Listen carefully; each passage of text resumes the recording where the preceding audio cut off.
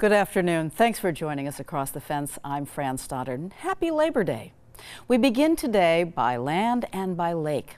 Over six days in September of 1814, the British Army and Navy brought war to the lakeside town of Plattsburgh, New York. The story of the Battle of Plattsburgh involves a dashing American naval officer, the biggest ship ever to set sail on Lake Champlain, and, lest we forget, a felicitous fowl. Due to the coronavirus, commemorations of the battle are taking place virtually this year. We'll have details of what's happening later in our program. Let's join historian Howard Coffin as he crosses the lake to bring us the story of the Battle of Plattsburgh.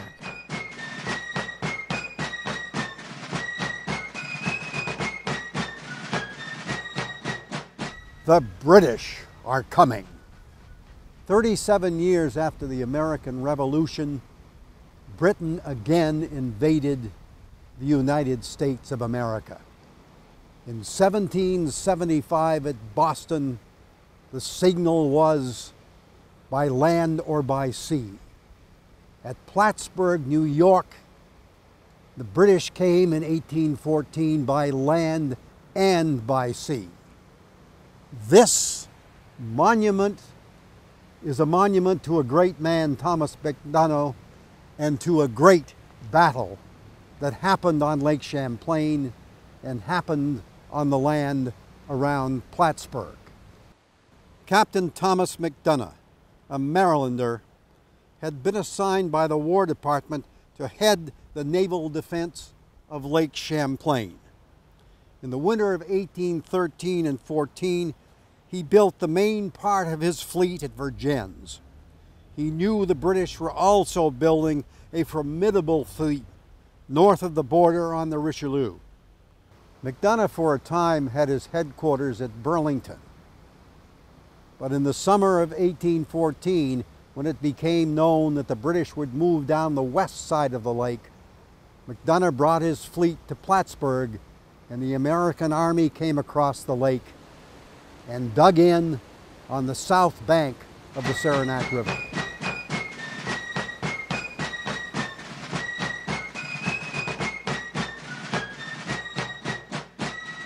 British army of nearly 10,000 men crossed the international border and marched south toward Plattsburgh. It took them six days to reach Culver Hill. Waiting here were 350 American regulars, but mostly militia.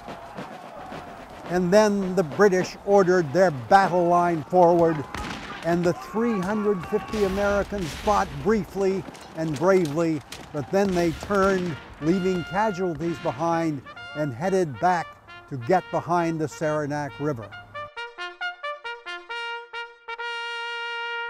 The Americans keyed their defenses along the Saranac to three large forts. The only one that survives is Fort Brown, the southernmost fort. On the night of September 8th, Commodore Macdonough came in from the fleet here to Fort Brown to check out a rumor he had heard. He went up on the ramparts of the fort and with his binoculars he scanned the far side of the river. And to the south he saw what he feared most, a battery of British rockets.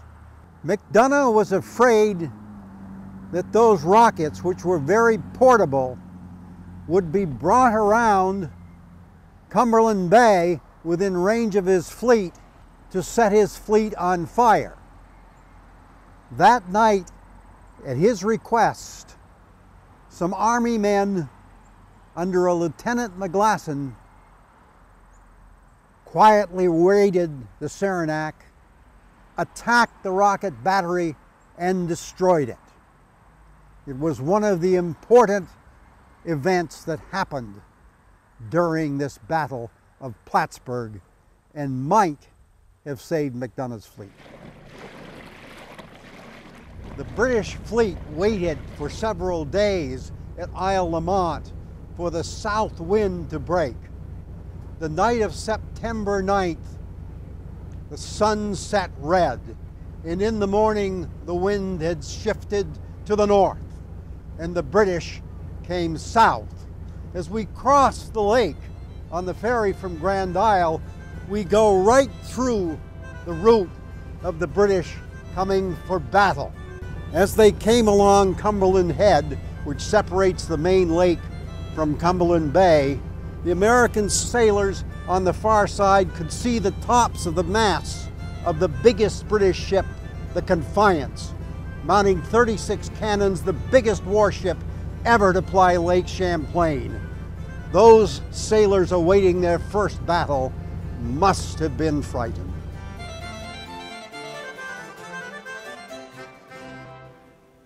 How big was the Confiance? The biggest of the British ships? Well, this is just one of its anchors displayed here in the lobby of the Plattsburgh City Hall. Wow.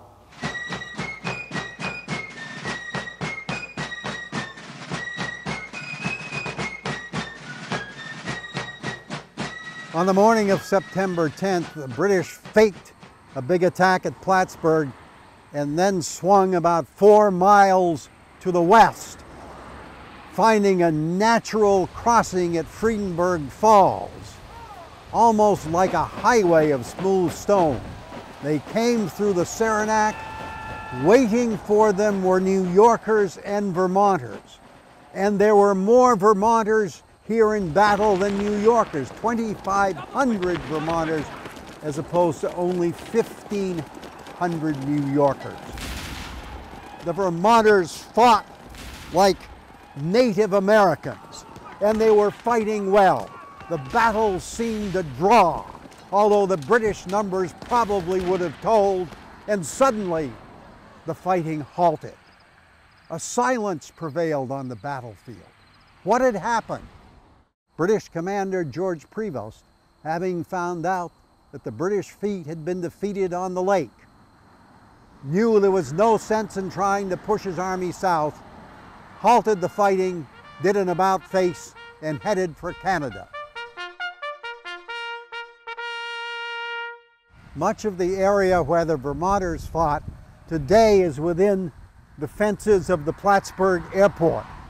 At the time of the 1814 battle, this was known as Pike's Cantonment. For two years before the fight, Zebulon Pike, the famous Western explorer for whom Pike's Peak is named, had commanded troops in this area. We're some four miles from Pike's Cantonment on Cumberland Head along Plattsburgh Bay. One of the great American naval battles in all history took place right behind us. The American force consisted of 14 ships with 882 men and 86 guns. The British had 16 vessels, 937 men, 97 guns. The firing opened when the British sent one of their big ships, the Chubb, up along this coast, trying to flank the American line. But suddenly, the Chubb's captain was warned that they were coming into shallow water. He had no choice but to spin his wheel sharp left, and it brought his ship to a standstill. Suddenly, he was fair play for American gunners who blasted the ship into submission. Now Macdonough takes over a gun on his flagship and aims at the big Confiance. And a matter of luck here because his first shot hits the steering mechanism of the confiance and it already is crippled. One of the first shots to hit the American flagship smashes a crate on the deck containing a pet rooster who flies up into the rigging and starts to crow and will throughout the battle. Macdonough said it brought calm and spirit to his men instantly. Another break for the Americans. Within the first half hour of the fighting, Downie is killed. The British commander is out of the fight. Also, the British were up against Macdonough's ingenuity. He had rigged up a system of anchors on his ships that allowed them to turn quickly, bringing broadside after broadside into play. Now it became a battle of broadsides. The decks ran red with blood. Three times Macdonough is hit. Once a man beside him is beheaded and knocks him unconscious. But Macdonough rises again to the fight. Finally, the Confiance is badly damaged beyond repair, and she runs up a flag of surrender.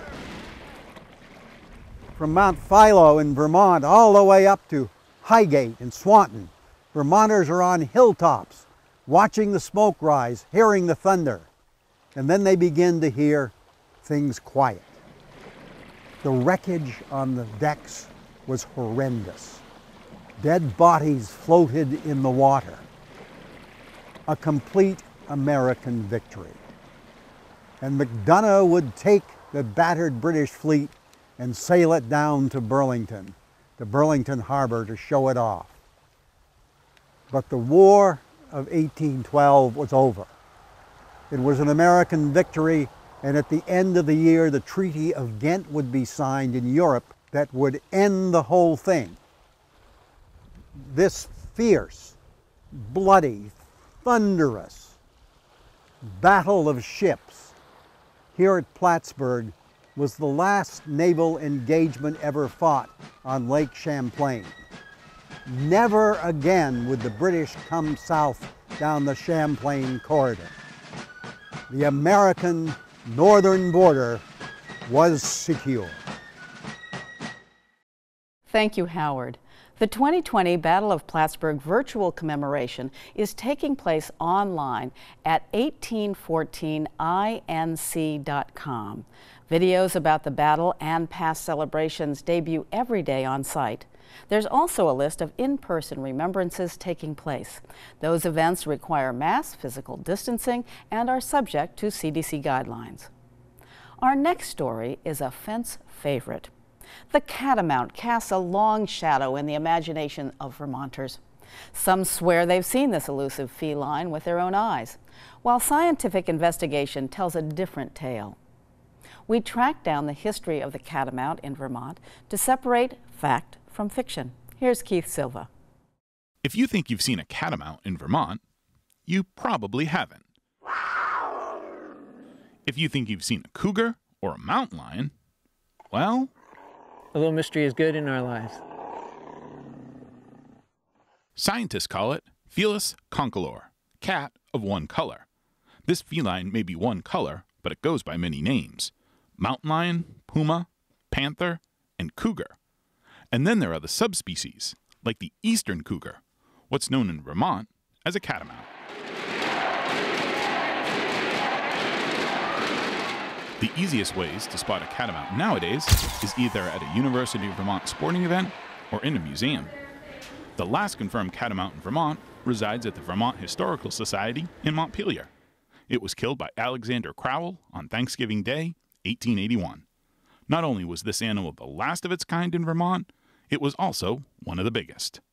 They're large cats. The Jed Murdoch is a wildlife biologist and a professor in the Rubenstein School of Environment and Natural Resources at UVM.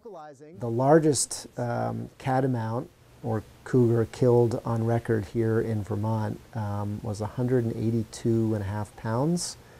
It was, in fact, the last one on record killed in Vermont in 1881 in, I think it was Barnard, uh, Vermont. So, a pretty good sized cat, I think, from nose to tip of tail was about seven feet.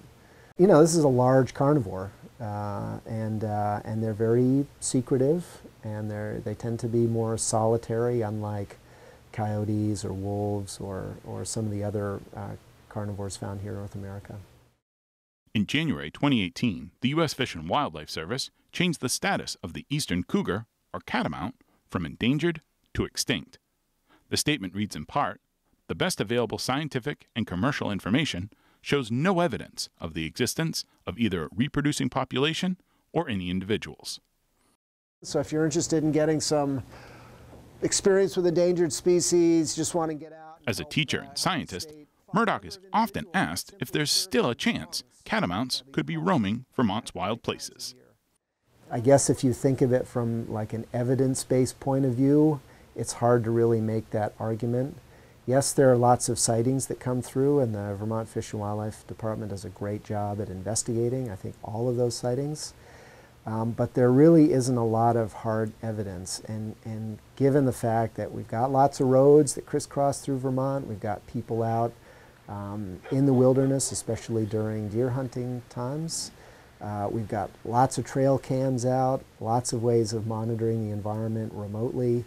Um, it would be surprising if they were here and we didn't detect them. Now, I have to say that as soon as I make the statement that the catamounts are not here, one will pop up tomorrow, you know, in the, in the news. There's always a chance. There's some uncertainty. This is a needle within a needle within a needle in a big haystack. Mike Kessler is an expert tracker and longtime instructor at UVM. Okay. Following him through the woods is an education. Ooh, I see it. Look at this right here. You can you see there's a nice large heel pad print here. One of the best locations Kessler's found for tracking in Vermont is the Jericho Research Forest. Running through the 485 acres that encompass this property is the Millbrook watershed, which, according to Kessler, federal biologists consider the highest value wildlife corridor in the Northeast. Kessler's tracked all kinds of animals through these woods, including large cats. Now I have to turn and slink this way. And I'm thinking because when toes are poked through, they have definition that that's, that's clear like that. That's usually an indication there's more time standing in this track. That's a cougar track, is what you're telling me. Yeah, that has no nails anywhere in there. Not a dog, not a bear. Now, a huge dog is not going to move this stealthy. The nails are going to be out. And so it's a preponderance of evidence. It's circumstantial, but we just keep building the case until we find one that's absolutely conclusive. And so, um, so in other words, it's like, would I spend the rest of the day following this one? Sure. Yeah, I would invest my my time and energy on this one as opposed to others that are like, oh, yeah, it could be, but not sure. But when you add all this up, it's, um, yeah, this is what they say, makes sense in the big picture and in the little picture. So we run with it. Not only has Kessler tracked a big cat here in Jericho, he has his own big cat, Tale to Tell. In 2015, Kessler's longtime tracking companion, a corgi named Lucy, died. Kessler figures he and Lucy took over 10,000 walks together, many of them in this area, which is why he chose to bury Lucy in the Jericho Research Forest. Seven months after Lucy's death, Kessler says he got an urge to visit her grave. The night before, she'd been dug up. I found her there cached under debris, something that had a four foot long reach. She was down over two and a half feet under a layer of clay. So there was plenty good tracks there with clay. There was an animal whose rear feet were six feet behind the hole. Dug her up, left her there, and um, there were just mountain lion tracks all over there. As Kessler further investigated the site, he confirmed what he suspected. It wasn't a bear or a bobcat that had dug up Lucy. It was a cat, a big one physics gets involved too, not just in making the tracks, which is so you have a force through a form, you need pounds per square inch and you need compaction on the soil, but in digging up a, a grave, the amount of force that had to be generated, aside from the prints that it left in the clay there, but just the force alone, to dig through clay down over two feet, there has to be equal and opposite force in the rear feet anchoring it. So you could see in there how hard that cat was digging and how far that dirt was spread, including Lucy's hair a little bit when it got to it. So those rear feet were anchored for a while there. So it was very easy to see where the rear feet were. The rear feet were that far apart and they were six feet behind the hole. So that's not a, that's not a bobcat again.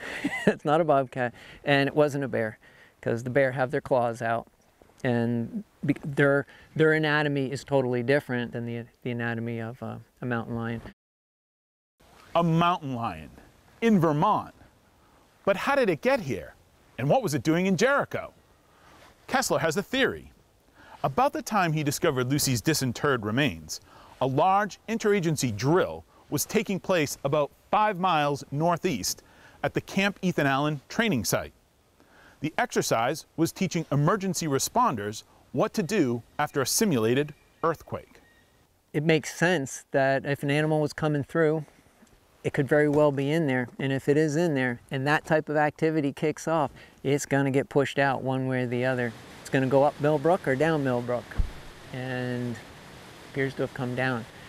And on its way down, it would have ended up in the corridor where I buried Lucy. And so, from a practical point of view, it's, yeah, you put it all together. It's like, I guess you could call it a perfect tracking storm.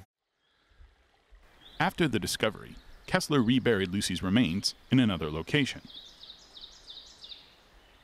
When he returned home, he did something unconsciously that would reinforce what he already knew about the presence of big cats in Vermont. I had smelled so bad, I had to just throw away all my clothes and I threw the rake and the shovel up on top of the woodpile just because I didn't want to deal with them. About a month later, Kessler awoke in the middle of the night to an odd sound. It was like the weirdest owl sound I'd ever heard. And then all of a sudden, I hear the sound over there. And I was like, oh, it must be an owl because nothing else would move that quick and that silently. It had to have flown down there. Kessler has a recording of what he heard that night, what he calls a cat bark.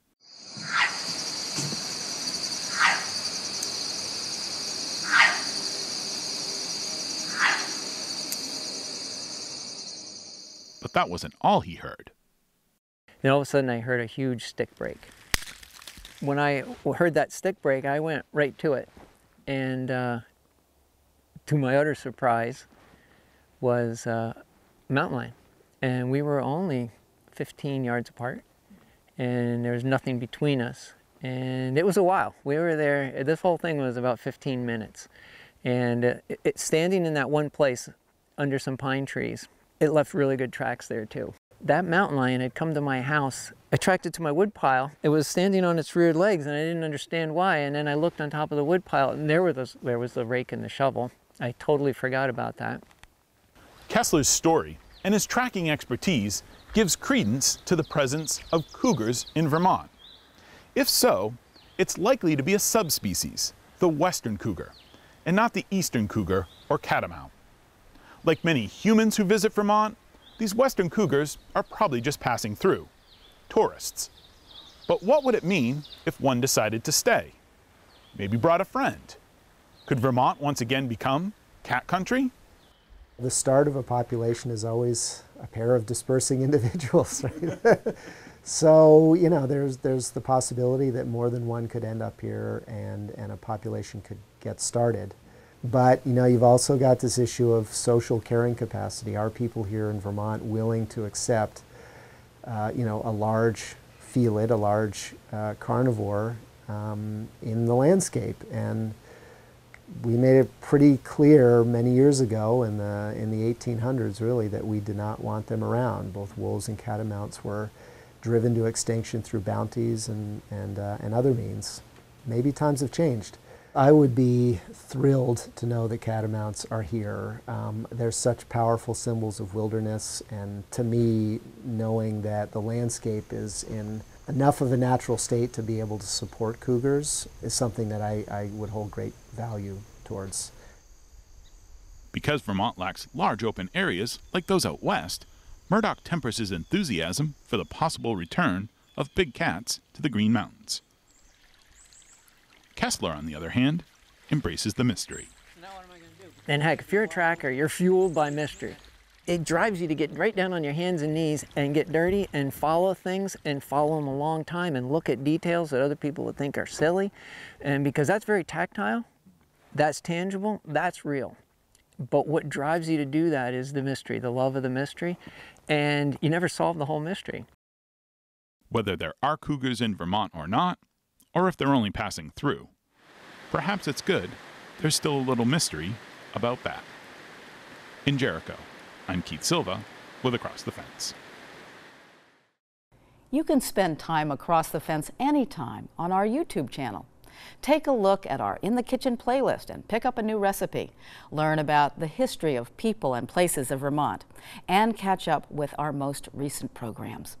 Visit youtube.com slash atfence. And while you're at it, don't forget to follow Face on Facebook.